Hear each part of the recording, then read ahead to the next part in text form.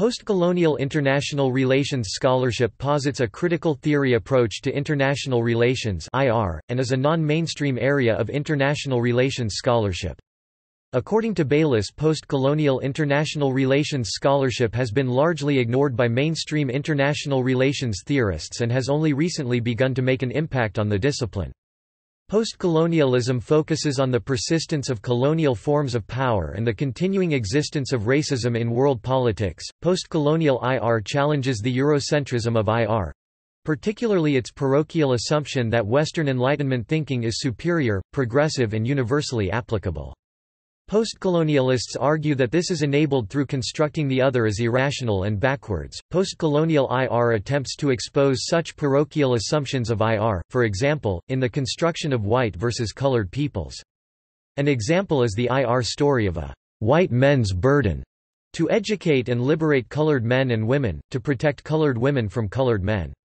Often this is linked to other postpositivist theories, for example, through postcolonial feminism, which analyze issues in IR through the lenses of gender and culture.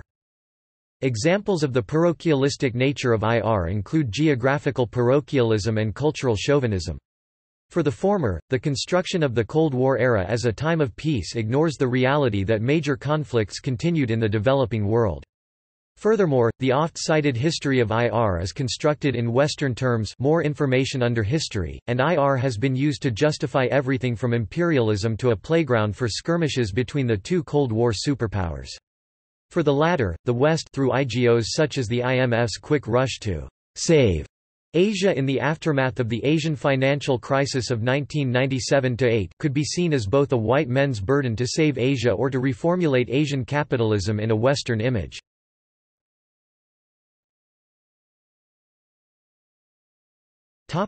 Criticisms and defense Such IR stories are purposefully limited in scope in terms of state-centric modeling, cataloging and predicting in formal terms, and like other postpositivist theories, they do not attempt to form an overarching theory as after all, postpositivism is defined as incredulity towards metanarratives. This is replaced by a sensitivity and openness to the unintended consequences of metanarratives and their negative impacts on the most marginalized actors in IR. In defense, postpositivists argue that metanarratives have proven unworkable. Thus, such theories, although limited in scope, provide for much greater possibilities in the normative work of developing an emancipatory politics, formulating foreign policy, understanding conflict, and making peace, which takes into account gender, ethnicity, other identity issues, culture, methodology and other common issues that have emerged from problem-solving, rationalist, reductive accounts IR.